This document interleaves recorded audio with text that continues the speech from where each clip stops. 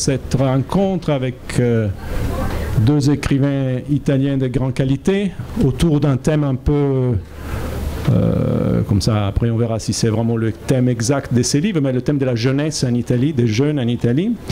Euh, donc on est avec euh, Giorgio Chan et Andrea Baiani, deux écrivains qui sont traduits ici en français, dont les romans, peut-être vous les avez déjà lus, en particulier. on va commencer pour vous présenter les deux livres de chacun d'entre eux et puis on essaiera de discuter un peu plus ensemble. Euh, et on aura une lecture d'un petit extrait de leur roman. Donc on va commencer avec euh, Giorgio Chan, donc euh, c'est lui qui vient de publier ici en France aux éditions Liana Levy On inventera bien quelque chose, traduit par Marianne Forobert. un roman qui parle de deux jeunes adolescents à Milan, aujourd'hui, à, nos jours, euh, qui vivent tout seuls pour une, euh, à cause d'une tragédie, parce qu'ils ont perdu leurs parents dans un accident de voiture, et donc ils sont dans une situation entre deux, c'est-à-dire ils attendent de partir chez leur oncle, chez l'oncle qui va avoir la garde de ces deux, ces deux jeunes euh, adolescents. Enfin, il y en a un qui a 16 ans, 15 ans et, 17 et 11. 17 et 11, voilà. Donc ils sont assez jeunes. Donc, et donc ils sont dans cette situation à Milan, en attendant de partir chez l'oncle qui vit tout seul, ils s'organisent, et puis voilà, ils ont un rêve, un moment il décide qu'il voudrait aller voir euh, euh, la finale de la Ligue des Champions, celle qui a ce soir à Milan. Hein. Enfin, c'est exactement la même chose, sauf que cette année-là de Milan, il n'était pas à Milan, il était à Madrid. Et donc voilà, ils, ont ce rêve. Évidemment, l'oncle n'est pas d'accord, et donc à partir de là, il y a tout un tas d'aventures euh, qui va les entraîner très loin, et dont George va nous parler. Et voilà, c'est un roman, c'est un roman de formation, un roman sur, sur le désir de liberté, la poursuite des rêves, le fait des jeunes enfants, qui, d'enfants, d'adolescents qui, sont obligés d'être adultes malgré eux, et donc euh, qui vont faire face avec le, au monde des adultes. Donc avant de lui poser quelques questions, on va peut-être lire un petit extrait juste pour avoir un peu l'idée de, euh, de ce que c'est ces romans. Voilà.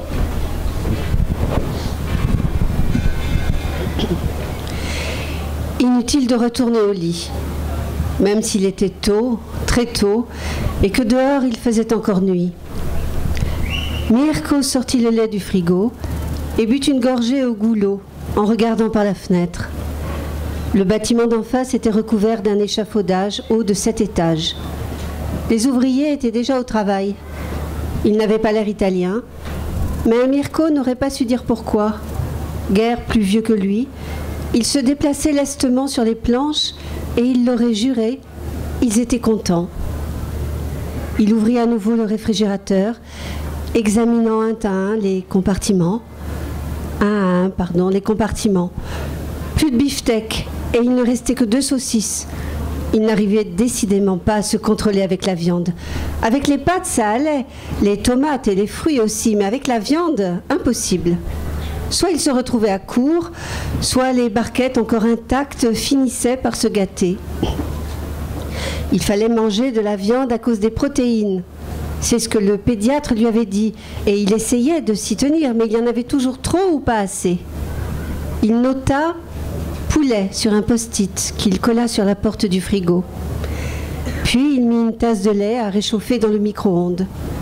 Il enfila son jean, attrapa son sweat et tout en cherchant partout ses chaussures de sport, il se lava les dents en frottant bien les gencives. Il noua ses lacets et vérifia son emploi du temps. S'il y avait cours de technologie, il aurait besoin du dossier noir. Il fallait le trouver et le glisser dans son sac. Après seulement, il réveilla Tommaso. Le réveiller n'était pas un problème. Il suffisait de lui secouer un peu l'épaule et il était déjà debout. Il traversait le couloir, s'asseyait à la table de la cuisine, mais tant qu'il n'avait pas mangé un biscuit ou deux, pas la peine de lui adresser la parole. Tu peux te dépêcher Je me dépêche. Mirko fit défiler toutes les chaînes de Sky Sport. Le son de la télé envahit l'appartement. Les stores encore baissés devaient retenir les ondes, et le volume semblait pousser à fond même si personne n'y avait touché depuis la veille au soir. Pas de télé dans la cuisine, Ça avait été une des vieilles règles de la maison. Au début, Mirko avait résisté, mais devant l'insistance de son frère, il avait fini par capituler. Du reste, depuis des semaines, ils emportaient leur assiette dans le séjour et mangeaient devant Sky Sport. Changer de pièce ne faisait pas une grosse différence. Tommaso avait fini de déjeuner et rinça sa tasse dans l'évier. Salle de bain, j'y vais. Maintenant. Tommaso reposa sa tasse sans se presser.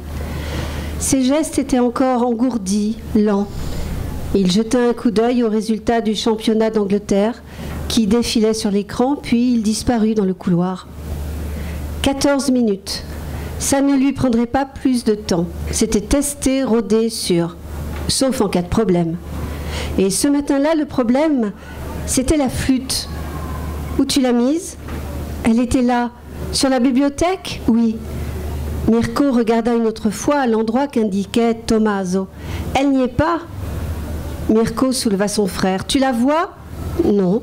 Donc elle n'y est pas. Maintenant on y va. Mirko allait sortir, la norac sur le dos, ouvert, comme d'habitude. Tommaso tapa du pied. Je pars pas sans la flûte. Je l'avais pas non plus mardi. Je vais avoir un avertissement si je viens sans. Tu n'avais qu'à y penser hier soir. Je t'ai dit de la prendre. Quand ça Quand j'étais au lit Je me suis relevée et toi tu m'as dit d'aller me coucher parce qu'il était tard. C'était à cause de la flûte et tu... C'est toi qui dois t'occuper de tes affaires de toute façon. Mirko se mit à cavaler dans tout l'appartement en gardant son sac sur le dos. Il courait, se baissait et se relevait pour regarder sur les rayonnages, les étagères, dans les coins. Tommaso pensa à Uncharted, quand Drake se penche et sautille autour de chaque colonne à la recherche de son amulette, comme si c'était lui qui le faisait sauter en pressant le X de son joystick. Il retint son rire. Finalement, elle était sur l'étagère des CD. Tout ce qu'ils égaraient, ils le retrouvaient là. Tommaso se dit qu'il devrait se le rappeler pour éviter de chercher, comme des malades, les objets qui n'étaient pas à leur place.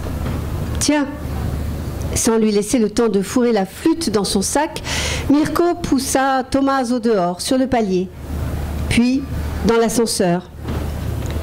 Tommaso, oui, cours, mais je cours, cours et tais-toi. Ils arrivèrent sur la place juste à temps pour voir s'éloigner l'autobus orange. Tommaso s'appuya sur ses genoux pour reprendre haleine. Putain Il regarda son frère qui jurait. Il était tout essoufflé. Mirko, en revanche, semblait ne pas avoir couru. On y va avec la Prilia. Tu ne peux pas m'emmener, tu as 17 ans. Tommaso le suivit tout de même. Tu n'es pas majeur. On en a pour cinq minutes. On passera par les petites rues. Ils rebroussèrent chemin vers la maison.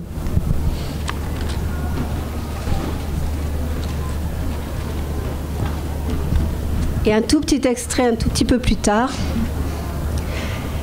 La situation. Situation. C'était une situation, on ne pouvait pas l'appeler autrement. Sa mère et son père étaient morts le 20 et le 23 février. Son père avait tenté de résister trois jours après l'accident avec un traumatisme crânien et un hématome gros comme un pamplemousse. Assez longtemps pour organiser deux enterrements, pour fermer deux cercueils, deux messes, deux sermons, deux fois de l'encens à l'église. Assez longtemps pour faire rentrer dans les marches les parents de son père, les rappeler et les embrasser encore. Situation. Si tes parents meurent tous les deux à la fin février, le deuxième trimestre est déjà entamé.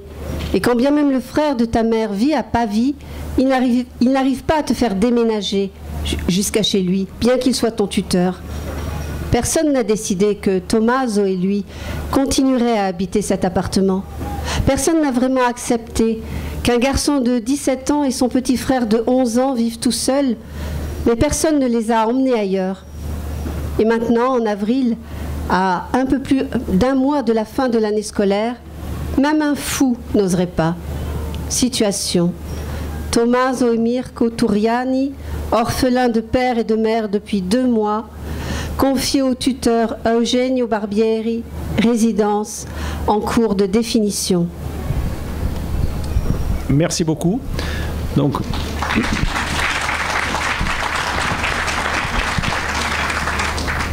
Donc, Giorgio, alors comment, comment il est ces romans Comment tu as eu l'idée de ces deux garçons euh, qui se retrouvent dans cette condition euh, particulière? Ils sont obligés de vivre un peu comme des adultes, essayant de, respecter des règles pour garder leur euh, autonomie, leur indépendance avant de partir chez l'oncle, et ils veulent pas, d'ailleurs. voilà, comment il est ces romans D'où tu as eu cette idée?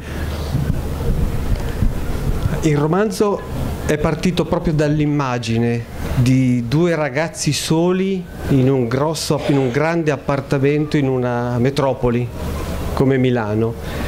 Li vedevo aggirarsi delle, delle, nei locali di questa casa e questa situazione, come, come è stato letto, è una situazione in cui c'è una famiglia composta da due adolescenti dove Mirko è tutto per Tommaso e Tommaso è tutto per Mirko.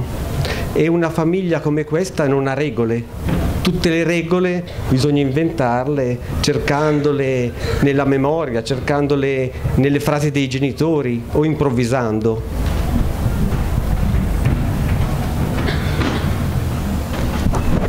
Donc euh, euh, disons que ces romans euh, commencent à partir d'un image, c'est-à-dire l'image de deux garçons qui vivent tout seuls dans un grand appartement dit métropole comme Milan.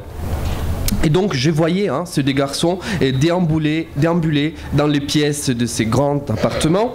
Et, donc cette situation, comme on vient de le lire, et dans laquelle en fait on retrouve une famille qui est composée par deux adolescents. Donc Mirko qui est tout pour Tommaso et Tommaso qui est tout pour Mirko. Et donc c'est une famille où il n'y a pas vraiment de règles. Et les règles en fait il faut les inventer. Et grâce à la mémoire, grâce à ce, qu'on, à ce, qui, ce que le garçon se rappelle de leurs parents, grâce surtout à l'improvisation. Il rispetto delle regole è la loro arma per l'autonomia, ma è per assurdo lo, il loro strumento di ribellione. Cioè c'è uno strano cortocircuito per cui rispettare le regole per Mirko e Tommaso è il modo di ribellarsi, è l'unico modo per tenere gli adulti fuori dai piedi, per tenerli lontani, perché gli adulti, vedendoli rispettosi delle regole, allentano le, i controlli, li lasciano un po' tranquilli. Donc, et le respect des règles, c'est une sorte d'arme pour euh, ces deux jeunes et euh, pour avoir leur autonomie. Et, donc, euh, c'est aussi un espèce d'instrument de rébellion. Car en fait, il s'est produit ces faits un peu bizarres à travers lequel le respect des règles, donc c'est la façon de, de, porter sa rébellion et donc aussi égarer un petit peu les adultes et s'égarer aussi du contrôle des adultes. Donc, les adultes hors de leur vie, car euh, si eux, ils respectent les règles, ils peuvent avoir moins de contrôle de la part euh, des adultes.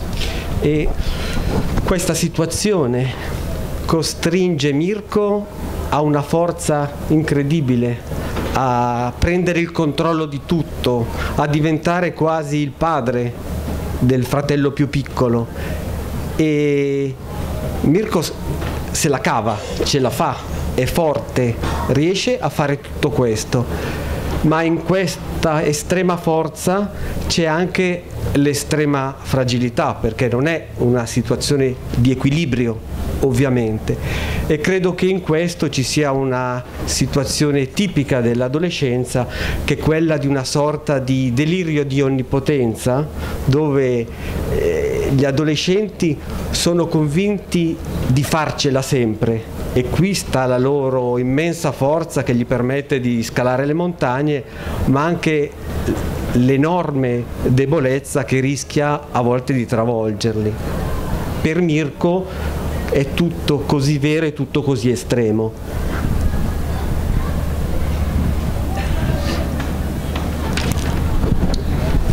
Et, donc dans cette situation, on remarque la force euh, de Mirko euh, qui euh, arrive à aller contre tout, qui est un peu le père, si vous voulez, de son petit frère, et il arrive à s'en sortir. Il arrive à, à, mener ce type de vie, mais on voit ici donc d'un côté la force extrême de ces garçons, mais de la même sorte, on voit aussi une extrême fragilité, car dans, dans ce type de situation, il n'y a pas vraiment un équilibre.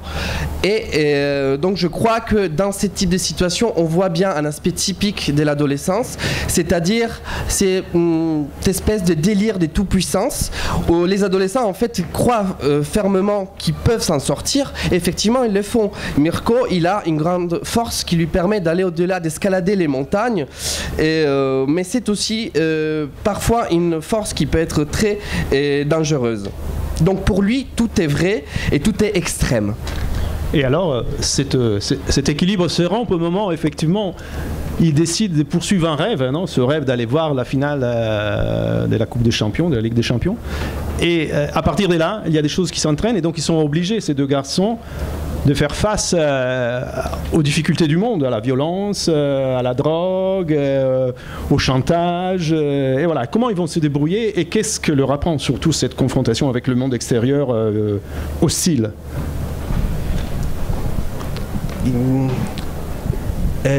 L'esergo, l'inizio del libro è una frase di Albert Camus che dice gli, gli errori sono allegri. E io ho cercato nel racconto di queste avventure che rischiano di travolgere la vita di Mirko e Tommaso di tenere un tono leggero e tutti gli incontri con la violenza, con la droga, ho cercato di raccontarli con lievità ma eh, anche con la durezza che questi incontri richiedevano. E gli errori sono allegri perché eh, gli adolescenti per crescere devono passare da, dagli ostacoli, devono superare gli ostacoli, devono scontrarsi con tutto. Magari non in casi così forti e estremi come, come quelli che capitano a Mirko e Tommaso, ma la crescita degli adolescenti passa attraverso l'esperienza, attraverso l'errore che però non sempre è allegro.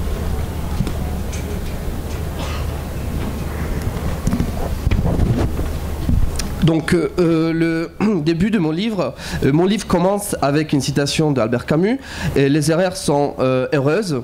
Donc moi j'ai essayé de raconter avec cette situation avec un ton léger et j'essaye aussi donc de raconter tous ces aspects comme par exemple la violence ou la drogue d'un ton léger mais aussi en gardant quand même un certain côté dur hein, de cette situation parce que c'est des situations assez, compliquées à décrire donc les erreurs sont heureuses parce que moi je pense que ça c'est un peu euh, le sens, euh, le, ce, qui, ce qui constitue l'adolescence si vous voulez parce que l'adolescent pour grandir il a besoin de euh, d'avoir des obstacles hein.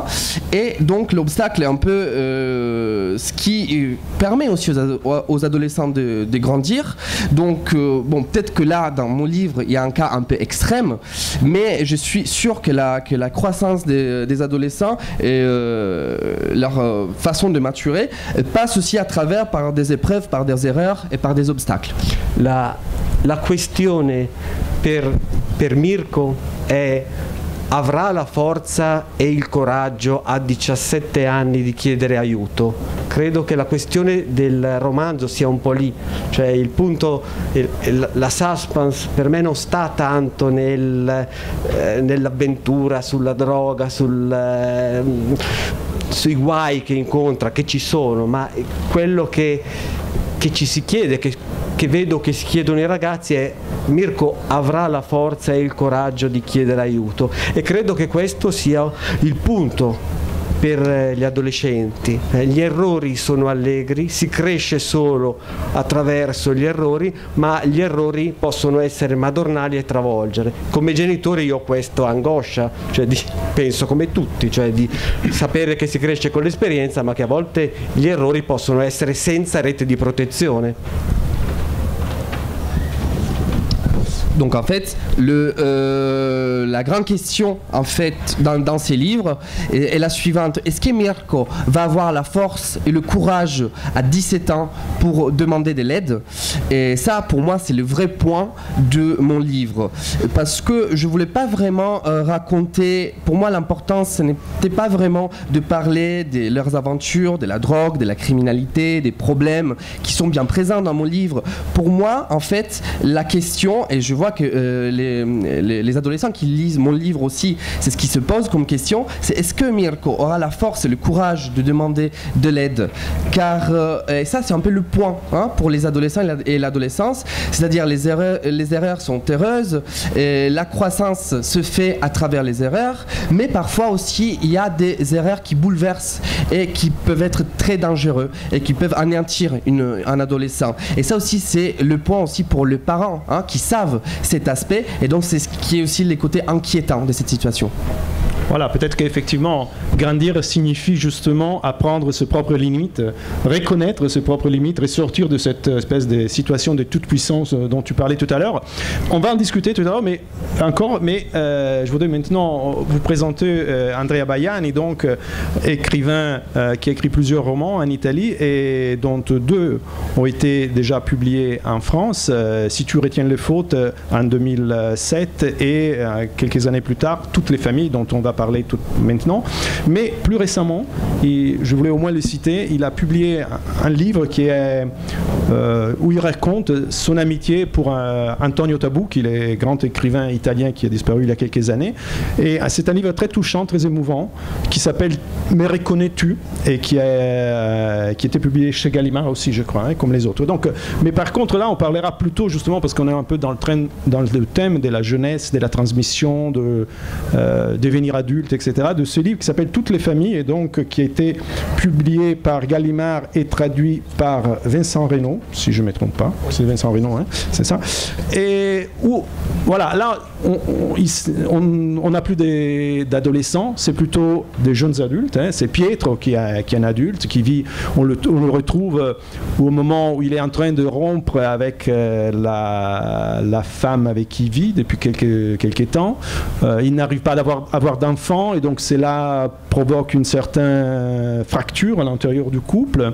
Et juste au moment où sa compagne Sarah décide de le quitter, il, euh, vient d'apprendre la disparition de son grand-père, Mario, qu'il n'avait pas très bien connu parce qu'il avait été longtemps éloigné de la famille, parce que en fait, euh, c'est un homme qui avait participé pendant la Deuxième Guerre mondiale avec l'armée italienne à l'invasion de la Russie. Vous savez, pendant la Deuxième Guerre mondiale, l'Italie était alliée des Allemands et donc quand il y a eu l'invasion, la campagne de Russie, il y a eu un certain nombre de soldats italiens qui sont partis en Russie et qui ont euh, participé à la guerre et ça a été une expérience dramatique, traumatique, donc dont beaucoup de livres en Italie ont, euh, ont raconté, beaucoup de livres ont raconté cette, cette épopée et cette, cette tragédie.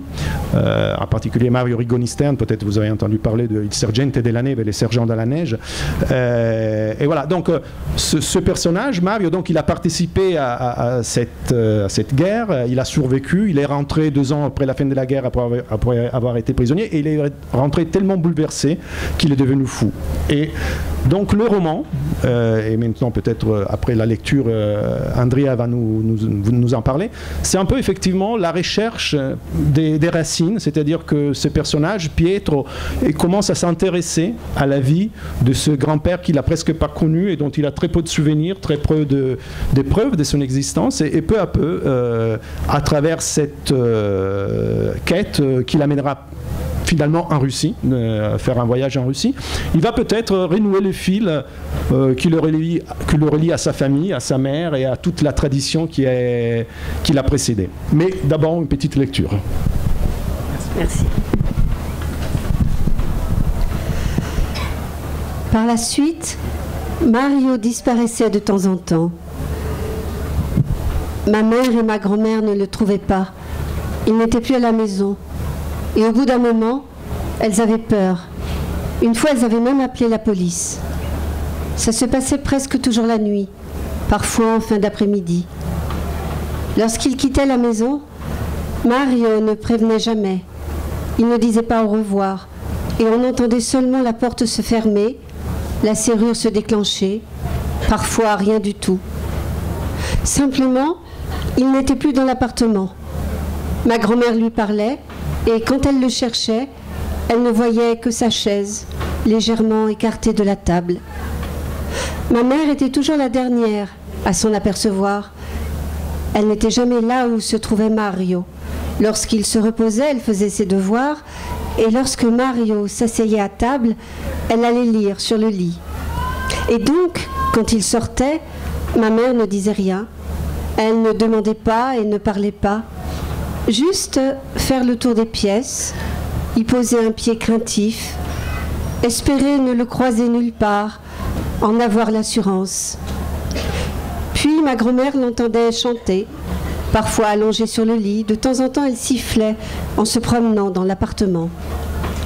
C'était une mélodie de quelques notes qu'elle répétait, un passage strident, les lèvres mal serrées, comme si elle voulait fendre l'espace au moyen de ce son.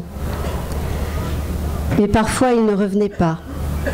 La nuit tombait, ma grand-mère qui mettait la table pour le dîner, la lampe qui s'allumait au-dessus, tout autour et dehors il faisait sombre. La table restait dressée pendant quelques heures, trois assiettes et trois verres, et ce cône de lumière qui se posait sur elle. Ma mère commençait à se plaindre. Elle allait sans cesse à la cuisine, demandait dans combien de temps on dînerait, et elle s'asseyait par terre, le dos contre le mur. Mais jamais elle ne demandait où était Mario. Elle ne le nommait pas. Ma grand-mère lui disait d'attendre. Le dîner n'était pas encore prêt. Ça devait cuire encore un peu. Elle essayait de la distraire. Elle l'aidait à choisir la laine, les couleurs d'une grande couverture à tricoter pour l'hiver et d'un gros pull rien que pour Giovanna, suscitait l'admiration de ses amis. Et donc, pendant quelque temps, ma mère ne se plaignait plus. Elle faisait des essayages de couleurs, tendait des fils de laine partout, les pièces qui se changeaient en toiles d'araignée colorées. Mais ensuite, ma mère s'ennuyait. La lumière, toujours au-dessus de la table, et tout autour, le noir, plus noir. Alors elle finissait par s'asseoir sur le canapé et restait là, sans plus bouger, à fixer les trois assiettes et les trois verres. Ma grand-mère sortait tout le temps sur le balcon. Elle se penchait et regardait en bas, de plus en plus nerveuse, chaque fois qu'elle rentrait. Quelque part, dans un lieu proche ou lointain, se trouvait Mario. Il était enfermé à la maison toute la journée et soudain, ses fugues. À la fin, elle restait immobile sur le balcon. Elle ne rentrait même plus. La cuisine éclairée derrière la vitre, la lumière allumée au-dessus de la table, et ma mère, enfant, qui s'endormait sur le canapé, les bras serrés sur la poitrine. Ça va peut-être? Merci. Alors, vous connaissez sûrement le, début de hum, Anna Karenina de Tolstoï, non? Toutes les familles heureuses se rassemblent, mais chaque famille malheureuse l'est à sa façon. Là, le titre du, roman, c'est Toutes les familles, justement. Et euh, c'est un roman où il y a plusieurs liens fam- familiaux, c'est-à-dire il y a la relation entre euh, Pietro et sa compagne Sarah, la relation entre Pietro et sa mère, la relation entre Pietro et son grand-père Mario, la relation entre la mère et son propre père, etc. Donc euh, c'est un nœud des relations fami- familiales qui sont présentes dans ce roman. Euh, oui, bonsoir. Euh, oui, c'est intéressant la, la- la chose parce que le titre, c'est toutes les familles seulement pour la France, pour les Français. Pour les Italiens, c'est chaque promesse, ogni promessa. et, et- et donc, nous, on parle toujours de la famille, mais je n'ai pas, mis le titre toutes les familles. Et en France, j'ai mis ça. Euh, oui, le problème, c'est, c'est pas un problème, mais c'est une histoire de famille, et c'est une histoire de, de C'est-à-dire, euh, avant, George disait euh, faire confiance. Le problème, c'est faire confiance à quelqu'un ou se méfier. Euh, les relations sont exactement ça. Cette histoire, c'est l'histoire de quelqu'un qui, dans une certaine façon, cherche, essaie de protéger les autres. Les mères, la mère qui essaie de protéger son fils en ne disant pas euh, l'histoire du grand-père, en ne disant pas, euh, en cachant la, la folie de quelqu'un dans la famille. Et donc les relations, ce sont toujours cette façon aussi d'essayer de protéger quelqu'un. Et, euh, mais dans, cette, euh, ce roman, dans, dans, cette situation dans laquelle il y a tous ces, gens qui essaient de protéger quelqu'un d'autre, le problème c'est qu'il y a une contradiction. Qui, on protège quelqu'un et donc on fait quelque chose de bien. Mais en même temps, on fait deux choses de mal. La première, c'est qu'on devienne une île, dans une certaine façon, parce qu'on a dedans tout un monde qu'on ne peut pas partager avec quelqu'un d'autre. La mère a un secret dedans qu'elle ne peut pas partager avec son fils parce, qu'elle veut le protéger. Et, en même temps, euh, il y a le, le deuxième problème, c'est que le fils a, il n'a pas le droit, dans une certaine façon, de reconstruire un sens de soi qui arrive aussi des générations précédentes. Et ça, c'est le problème d'être euh, parent, d'être euh, euh, fils en même temps. Et donc, le livre, l'histoire que, que je voulais conter, c'est ça. Qu'est-ce qu'on fait avec notre solitude? Qu'est-ce qu'on fait? On la partage et donc, euh, si on a, euh, si dans notre famille il y a des choses qui, euh, qui se qui sont passées, qui sont horribles, il y a l'histoire de, de, ce grand-père qui est retourné de la, de la guerre et qui était fou. Et donc, qu'est-ce qu'on fait avec, qu'est-ce que je dois faire avec mon père? Je dois le conseiller à mon fils. Et donc lui donner quelque chose qui est très important pour mon fils d'avoir un grand-père. Ou le protéger et donc couper quelque chose. Euh, et ça, c'est, je pense, c'est une des, choses les plus, les plus difficiles à faire aujourd'hui. Euh, c'est-à-dire, euh, qu'est-ce qu'on fait avec, comment on construit, on pourrait dire, la mémoire? Oui, et d'ailleurs, si pour George, on disait tout à l'heure, devenir adulte pour les, personnages du roman de George, c'était apprendre ses propres limites, là, pour Pietro, donc le, protagoniste du roman, devenir adulte, bien qu'il est déjà adulte, mais enfin, grandir complètement, c'est retrouver sa propre histoire, c'est renouer les fils de la mémoire, non? Oui, c'est exactement ça. Et donc, euh, euh, toujours, on pense que le passé est passé on a toujours l'idée que le passé est passé aussi parce qu'à l'école, on apprend qu'il y a le passé, il y a le présent et il y a le futur. Ce sont dans trois différents lieux dans la page. Le passé, le présent et le, et le futur. Ils ne sont pas liés entre eux. Et donc, euh, euh, grâce au langage aussi, on a fait cette erreur de penser, on fait toujours cette erreur de penser que le passé est passé.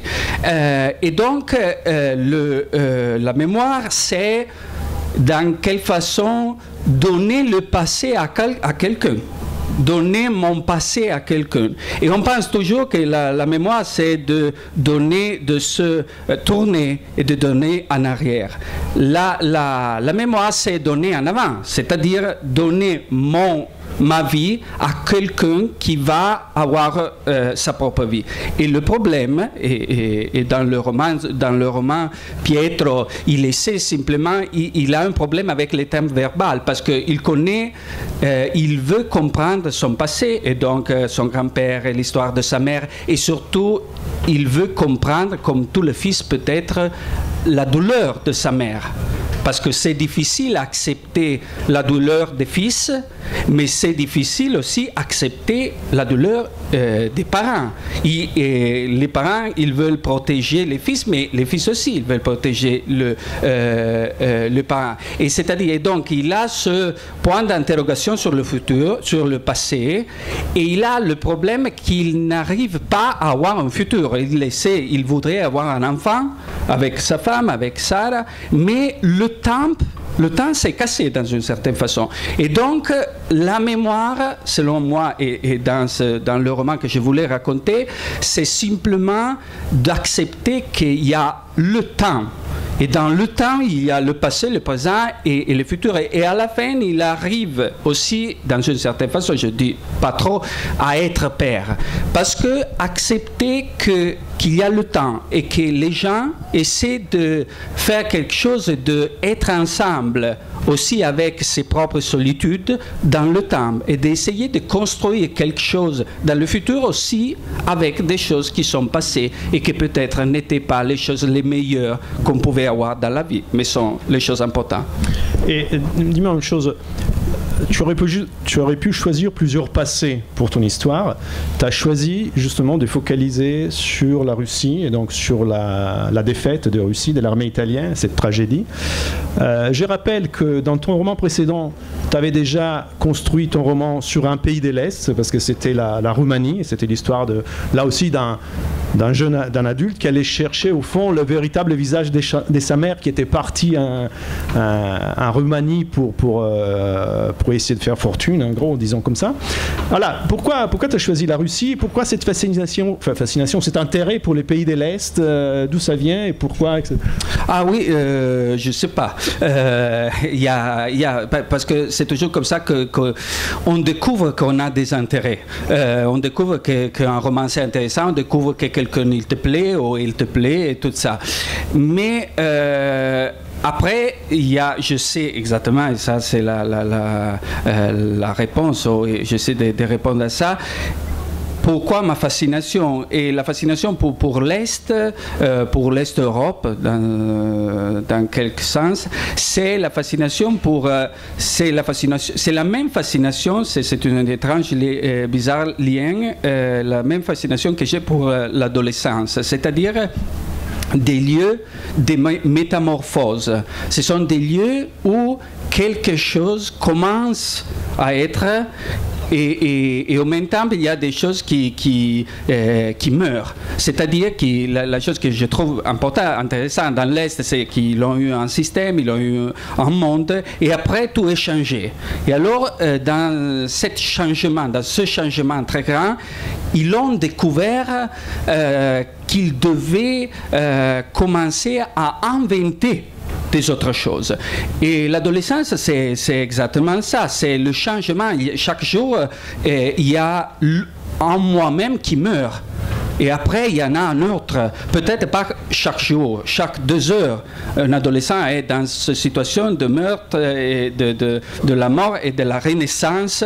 Euh, et ça, c'est la chose euh, très fatigante.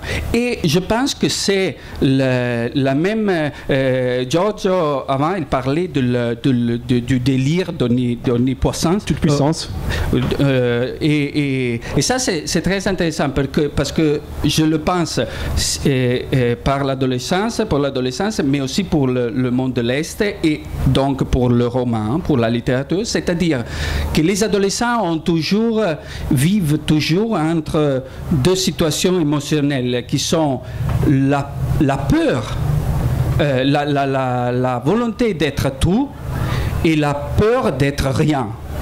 Et, ça, c'est la chose qui est très parce qu'ils ont euh, oui c'est vrai qu'ils ont l'idée euh, de tout pouvoir. Mais euh, on sait très bien parce qu'on les voit sur le canapé le soir au téléphone avec les amis et tout ça qu'ils ont très peur et alors là, c'est la chose très intéressante parce que dans euh, ce mélange entre la peur et le désir d'inventer un monde, la possibilité de le faire, mais aussi la peur, là, il y a, je pense, la, possibilité de compter une histoire euh, pour les adolescents, pour le roman et pour des pays qui ont changé très très vite, parce que le, changement, ça a été lent, mais, mais, mais, aussi très vite, et de essayer d'inventer le futur, le la troisième euh, espace du cahier où, il y a le temps verbal. Giorgio, euh, tout à l'heure on disait euh, que dans le roman d'Andrea, il y a la transmission de la mémoire, la transmission des souvenirs, la transmission de, quelque chose qui appartient au passé. Pour tes protagonistes, pour tes deux personnages, les souvenirs, c'est la douleur aussi, parce que c'est les souvenirs de, leurs parents qui viennent de disparaître, mais comment ils, gèrent, eux, leur propre mémoire et comment ils, font avec euh, ces mondes de souvenirs? D'un côté, ils, ils essayent de rester loin, mais en même temps, ils sont happés sans arrêt par les souvenirs de leurs parents. Beh, i- loro vivono la mancanza dei genitori come un abbandono. I genitori sono morti in un incidente stradale, quindi non hanno alcuna colpa, ma lo stesso c'è il fastidio e il senso di ribellione perché comunque è un abbandono. E quindi dei genitori non si parla, non si parla mai, però ci sono sempre, ci sono nel- nelle stanze, ci sono negli oggetti e mm, le scelte della vita di questi ragazzi passano anche attraverso il ritrovare i, i gesti e i pensieri dei genitori. In un momento in cui eh, Mirko deve pensare se avere la prima esperienza sessuale con la propria ragazza, eh, si ricorda una frase del padre che gli diceva eh, per decidere bisogna capire se si è innamorati e se ce la si sente. Se- Lui, lui dice io me la sento molto, ma cosa vuol dire essere innamorati? Cioè, come, si ricorda l'etichetta come una frase inutile eh, uno degli- dei consigli che non portano a niente perché sono vaghi, ma il fatto è che di fronte a, una- a un momento così importante va a ripescare la frase del padre che è rimasta latente e con fastidio, co- smontandola subito, però è lì che torna il suo pensiero. Eh sì,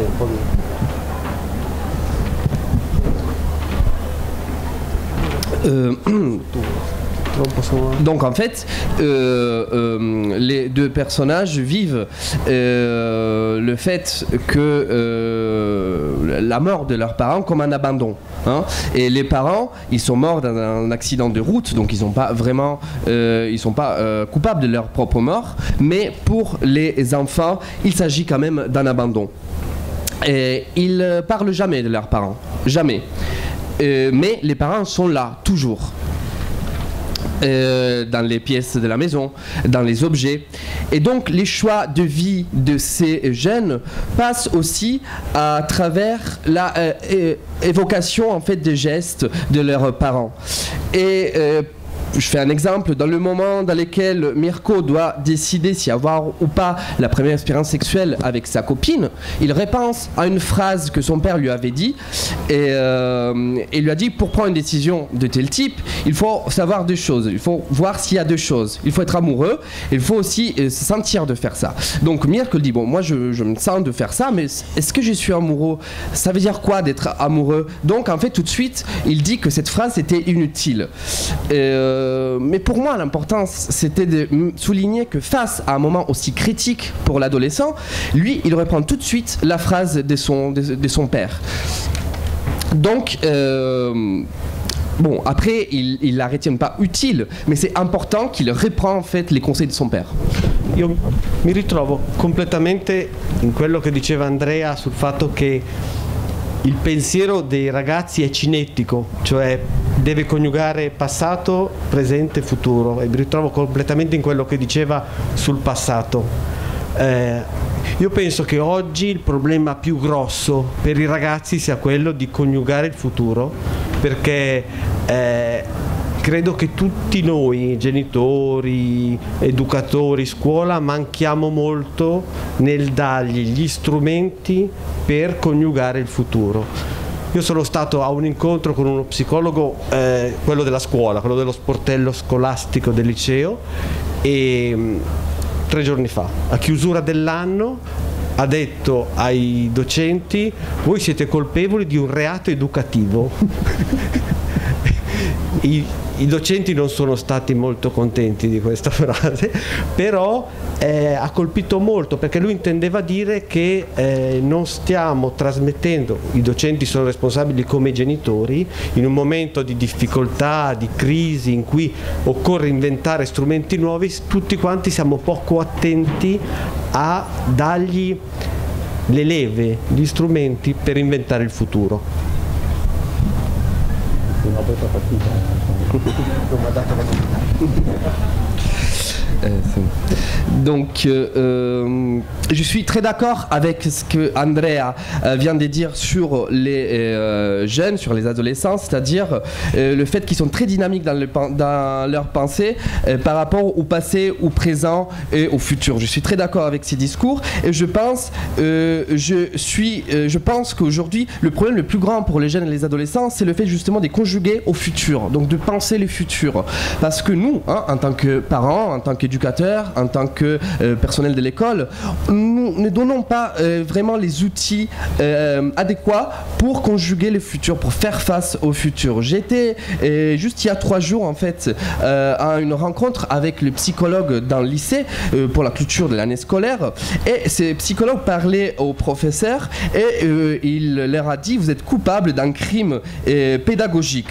Bon, bien évidemment, les profs, n'étaient pas trop contents, mais en fait, ils voulaient dire que nous, hein, nous, les parents, les professeurs, les enseignants, les éducateurs, nous avons un problème dans la transmission, dans un moment comme celui-ci de crise, où les jeunes ont besoin de nouveaux outils pour faire face au futur, donc on est peu attentif à leur donner les outils euh, adéquats pour qu'ils inventent un nouveau futur.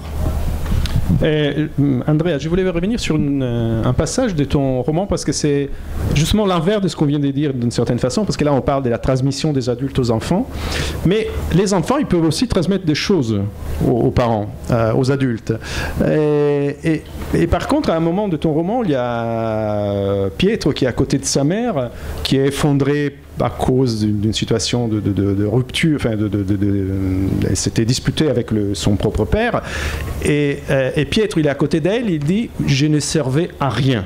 Je pouvais rien pour elle. Et a un peu cette, un, cette situation d'impuissance, euh, d'impuissance des jeunes qui ne peuvent rien pour leurs parents.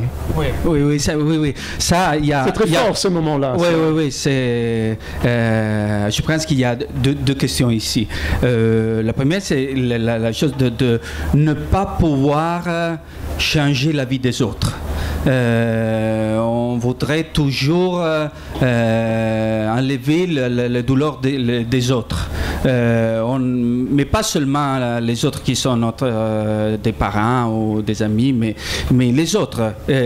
c'est l'impuissance quotidienne. L'impuissance quotidienne, personnelle, politique, publique, de dire qu'est-ce qu'on peut faire? Et, là, c'est la, solitude de l'enfance aussi. Euh, parce que les, enfants, ils restent tout seuls face à la, souffrance des, parents. Mais en même temps, et, je, viens à la, première partie de, ce que tu disais, les enfants, ils peuvent vraiment euh, euh, enseigner beaucoup de choses euh, aux, adultes. Et, c'est-à-dire que quand, quand les enfants, ils parlent, quand les enfants, euh, il arrive et il dit euh, dans, une façon très singulière. Euh, qu'est-ce qu'ils ont fait, qu'est-ce qu'il a dit, l'ami la, a dit ça et moi j'ai répondu ça. Et toujours, nous, les parents, les, adultes, nous les regardons dans une façon qui, qui est, qui est très, très intéressante parce qu'ils changent les choses qui sont sur la table. Quand, les enfants ils parlent, euh, nous les écoutons et nous les écoutons euh, comme s'ils sont des poètes. Euh, c'est très rigolant. Il y a des fois dans lesquelles les, enfants disent des choses qui sont très belles. Alors il y a la grand-mère qui appelle l'autre grand-mère et dit Tu sais qu'est-ce qu'il a dit, Tommaso? Il a dit une chose incroyable, incroyable. Et, il dit simplement une chose qui est très normale, mais dite dans une autre façon. Alors c'est là que les, adultes, parce que entre les deux façons, les deux euh, euh, ambitions, euh, pensée des, jeunes qui est vouloir tout et avoir peur d'être néant. Le problème, c'est que souvent, nous, nous, les adultes, nous devions peu un petit peu. Et alors, les enfants, quand ils parlent, euh, ils arrivent à casser dans une certaine façon l'idée du monde qu'on a construit pour nous et qui est là et qu'on ne peut pas la changer. Et souvent, les, enfants nous enseignent ça, qu'il faut trouver des autres mots. Et si tu trouves, trouves des autres mots, le monde va changer. Et ça, c'est l'espace de la littérature. L'espace de la littérature et de la poésie, c'est exactement pas l'espace de l'enfance, mais c'est la, la façon de l'enfance de penser et de dire le monde. Et donc, on peut apprendre beaucoup, beaucoup de choses aux enfants, surtout à parler comme les enfants. Et, aujourd'hui, je pense qu'il y aurait, il y aurait besoin d'un cours de langue fait des euh, enfants de 8 ans et avec les adultes là, et les, enfants ici qui comptent le monde, et les adultes qui, qui pensent Ah, je ne savais pas que le monde était comme ça.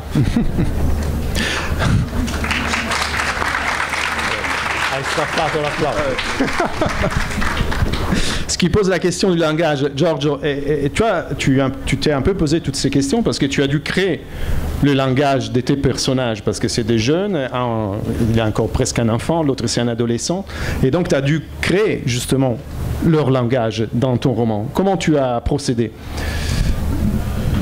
Euh, Beh, è un momento della mia vita in cui eh, sono abbastanza circondato da adolescenti perché ho due figli adolescenti, ho, ho la casa piena di, di, ragazzi normalmente, per cui è un mondo che, che bazzico.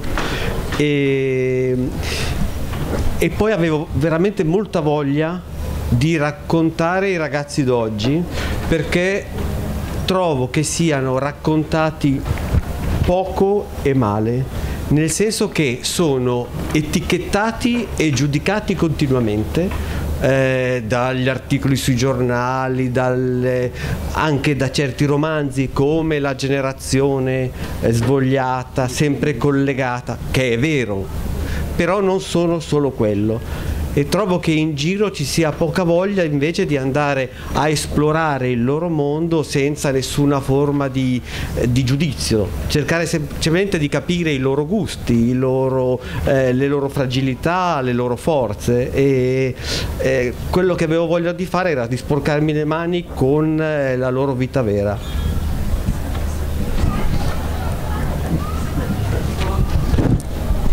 Donc, euh, disons que je suis dans un moment de ma vie où je suis assez entouré par des adolescents, c'est-à-dire j'ai deux enfants adolescents. Euh, ma maison est toujours bien remplie de jeunes, donc c'est un monde que je connais assez bien.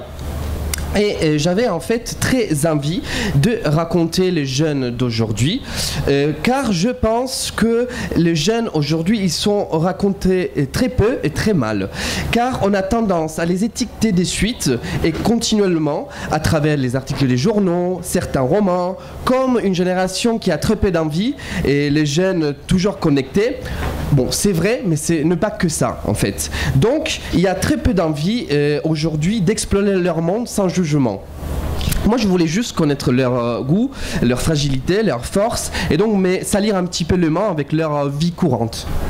Io prima di scrivere questo romanzo avevo scritto una pièce teatrale che raccontava la violenza di un branco di ragazzini, anzi la reazione dei genitori alla violenza di un branco di ragazzini e nessuno mi ha chiesto perché avessi avuto voglia di raccontare eh, ragazzi violenti, ragazzi in una situazione di disagio, mentre ho ricevuto diverse domande eh, di interesse, di curiosità su come mai in questo romanzo, qualcosa ci inventeremo, io avessi scelto di raccontare due ragazzi positivi, pieni di vita, pieni di energia, come se, se lo scandalo fosse raccontare ragazzi vitali e positivi.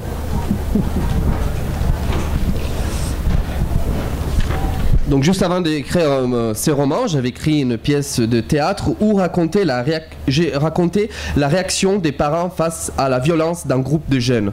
Et euh, personne, lorsque je vais publier cette pièce, m'avait euh, demandé pourquoi j'avais eu envie de raconter des euh, jeunes qui étaient violents.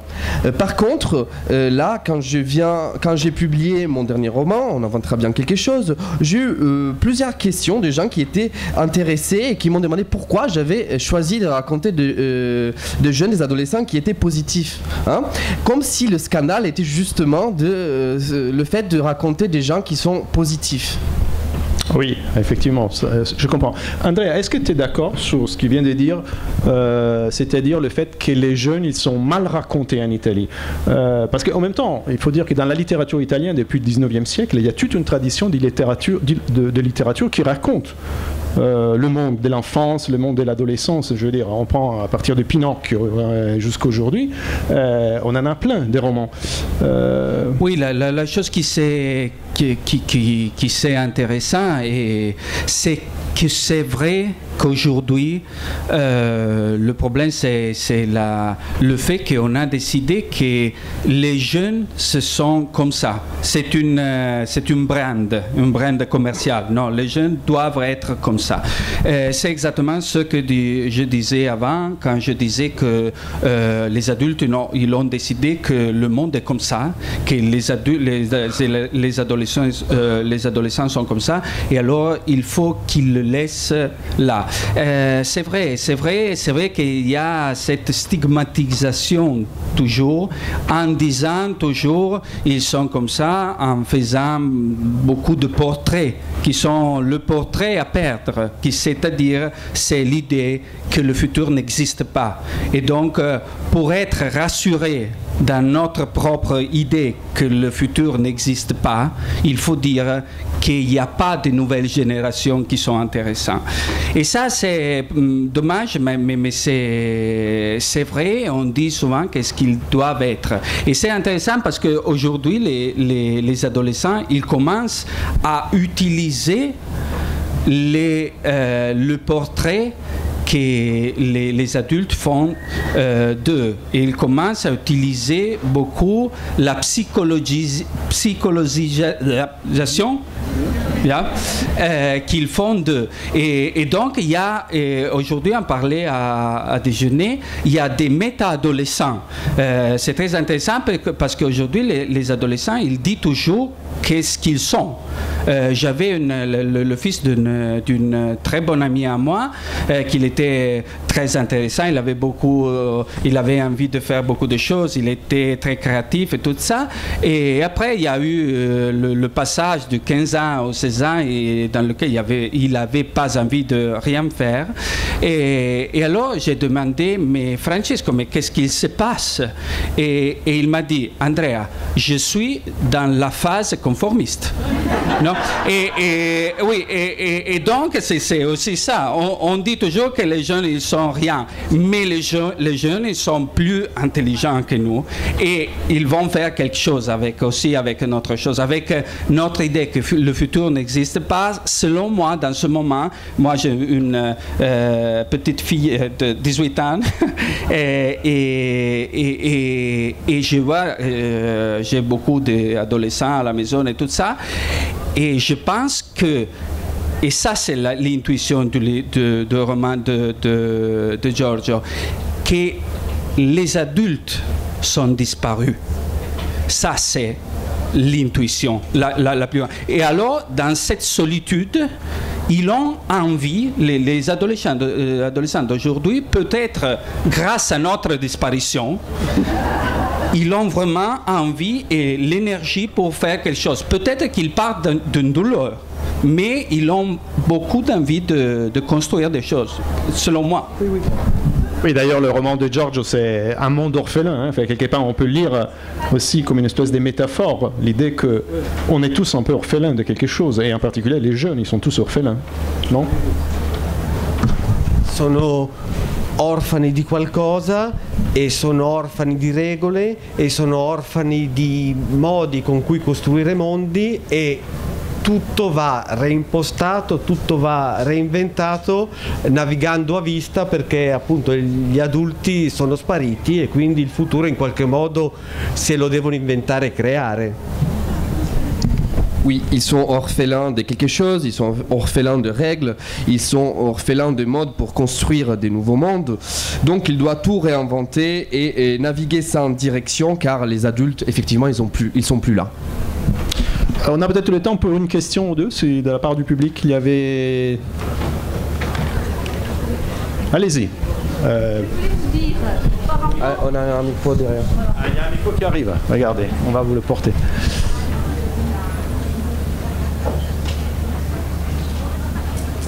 Ça arrive, hein Allez-y. Merci. Je voulais simplement vous dire, on constate actuellement euh, qu'il y a énormément de jeunes qui quittent leur pays et qui vont s'installer dans des pays étrangers. Alors ça peut être le Canada, ça peut être l'Australie, ça peut être euh, d'autres pays comme ça. Donc est-ce que c'est pas un peu justement pour pouvoir construire autre chose que finalement euh, qui constatent que leurs parents ont, laissé, ont abandonné quelque part en Europe, quoi. Voilà. Qui veut répondre? Ma, eh, allora, il costruirsi un mondo altrove è una cosa positiva, bella. Temo che la molla da cui questo scatta sia molto negativa, cioè la in Italia c'è il mito di Londra, cioè i, i, ragazzi italiani vedono Londra come la mecca lavorativa, professionale, universitaria. Les Français aussi d'ailleurs. E, e eh, in, temo che la scelta di andare in un altro paese nasca dal fatto di non vedere futuro nel proprio e non nel fatto di sperimentarsi e di confrontarsi con un'altra cultura. E quindi io ho molto timore di, di questo fatto che si anticipa ogni anno di più la scelta di andare a studiare all'estero prima era una scelta universitaria, negli ultimi anni sta diventando una scelta liceale, quasi che il futuro, il futuro proprio da subito debba avere altri destini.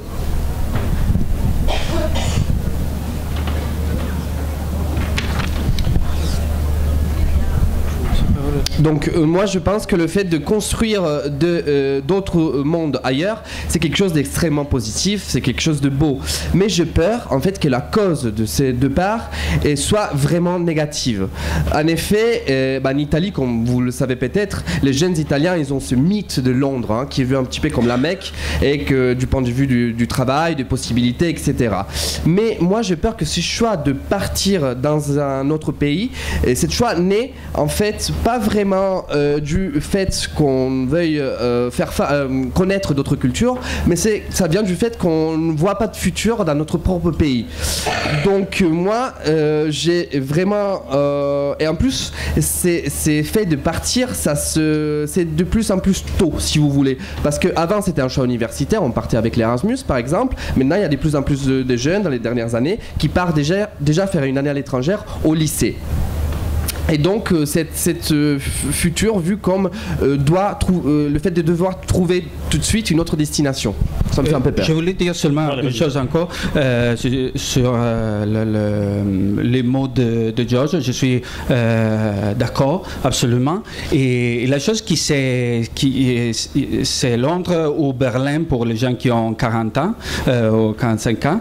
mais c'est cette idée que euh, dès qu'on est ici pour parler de littérature, on n'est pas des sociologues ou des psychologues, euh, mais euh, qu'on n'est pas plus capable italien ou français, je ne sais pas, de raconter une histoire dans laquelle quelqu'un a envie de vivre. Ça, c'est la chose qui c'est intéressant. C'est comme si il y a des jeunes qui sortent de la page il euh, l'histoire ne peut pas plus rester dans, dans la Il n'y a plus quelqu'un qui essaie de dire notre histoire, qui c'est pas l'histoire de l'histoire, c'est l'idée, notre identité, l'histoire que nous on a envie de partager avec, avec vous, c'est ça.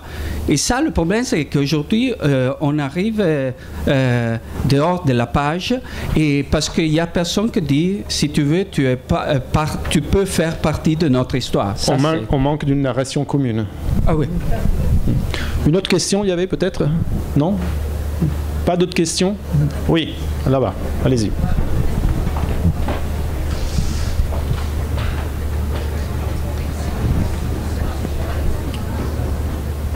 Allez-y. Non? Ça y est, c'est bon. Euh, je voulais d'abord vous remercier pour euh, vos interventions et euh, vous dire, ça, ça, re- ça continue la question précédente et le commentaire que vous avez fait les, les uns et les autres. Est-ce à dire que cette jeunesse italienne, qui ressemble quand même beaucoup à notre jeunesse française ou autres pays européens, est quelque peu désabusée que nous, nous ne les faisons pas rêver, notre monde d'adultes, tel que nous le concevons, nous nous l'expliquons, nous le montrons, et qu'ils partent euh, à l'étranger, effectivement, plus pour, un besoin de rêver, pour un besoin de, de, de modèle, euh, un besoin d'idéal et pas forcément justement pour des meilleures raisons qui seraient euh, d'aller rencontrer euh, d'autres cultures, euh, voyez, d'autres euh, jeunesses par exemple. Euh, ça me laisse un peu pantoise quand même. Ça veut dire vraiment que nous, nous avons raté quelque chose. Ils vont vous répondre. Il faut tuer les parents? Non. Non, pas, pas du tout. Il y a, euh, oui, oui, ça c'est. euh, euh, on apprend beaucoup de choses des, euh, des enfants, on disait. Et quand les enfants ils jouent ensemble, c'est toujours très intéressant de les voir jouer ensemble parce que euh, il y a toujours les enfants qui ont envie d'avoir le, jeu qui a l'autre. Et la chose qui c'est intéressant, c'est de comprendre que les enfants, ils ne veulent pas le jeu qui a le copain, mais ils veulent les yeux qui a le copain quand il a le jeu à la main. Et ça, c'est ce qu'on devrait faire, pas enseigner à rêver. Rêver, et donc euh, il y a quelqu'un à côté de nous qui a envie de, partager euh, le rêve. Moi, euh, je pense que c'est exactement ça. Et l'autre, chose qui c'est très intéressant, c'est que toutes les générations qui vont, euh, aussi euh, beaucoup de gens de, la mienne, de, la, euh, de ma génération, sont allés à Berlin, sont allés à Paris, sont allés. Et il y a des, des enfants aujourd'hui qui, qui, vivent dans des familles technologiques. Ils ont des grands-pères Skype, grand-maman Skype, grand-père Skype. Et, ça, c'est intéressant. C'est une autre chose qui, est en train de changer. Sì, ma credo che sia un prob- una questione di, di ideali, di valori da trasmettere o da far sentire, ma forse è più una questione proprio di strumenti logici. Cioè io credo che noi adulti siamo un po' presi dal panico nei confronti del futuro e questa cosa i ragazzi la sentono. Noi non sappiamo che pesci pigliare, per cui quando parliamo con i ragazzi del- di un'idea di futuro, che può essere l'orientamento per l'università, l'idea del luogo in cui andare a vivere, noi non sappiamo trasmettergli degli strumenti ideali, ma soprattutto logici di interpretazione del mondo, perché noi non li abbiamo più. Donc, attention, attention. Et non, la traduction d'abord. Euh, moi, je crois que euh, oui, il y a un problème, un d'idéaux, de valeurs à transmettre, mais je pense qu'il y a aussi un problème de transmission d'outils et d'instruments euh, logiques. Car en fait, nous, les adultes, on est un peu dans la panique lorsqu'on se retrouve à penser euh, au futur. Et donc, les jeunes, les adolescents, ils ressentent cette sensation qu'on a. Et donc, en fait, nous, on ne sait pas vraiment quoi faire. Et donc, par exemple, lorsqu'on parle avec les, les jeunes par rapport à, à une idée du futur, qui peut être par exemple le choix de l'université ou bien d'un endroit où aller vivre, en fait, nous ne savons pas et nous ne pouvons pas leur donner les instruments logiques pour construire un nouveau monde. On ne sait pas.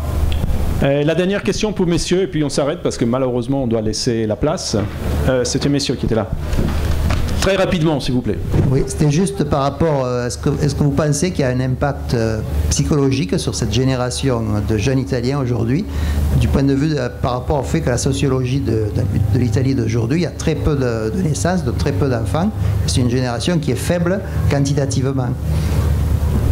Réponse à- à- au niveau de la démographie, alors que, par exemple, on a vu les générations du, du baby boom qui étaient puissantes, nombreuses, qui ont, qui ont eu un impact de- du, du fait de leur quantité. Ils vont vous répondre. Est-ce qu'à l'inverse, en Italie, ça joue pas le sens inverse aujourd'hui? Sachant que l'Italie est l'avant-dernier pays maintenant au monde, euh, en moyenne d'âge, c'est le plus vieux. Il y a le Japon derrière, c'est tout. C'est ce qu'on nous a dit euh, au niveau des infos. Merci. Eh, sì, l'Italia è un paese eh, che invecchia, è un paese vecchio. Io sono padre, ho due figli, eh, adoro stare insieme ai ragazzi, però non ho l'ossessione del fatto che bisogna riprodursi, che bisogna eh, comunque andare avanti a fare figli. Io credo che si, si facciano figli se, la- se si sente di farli, se si ha voglia di- che il mondo continui.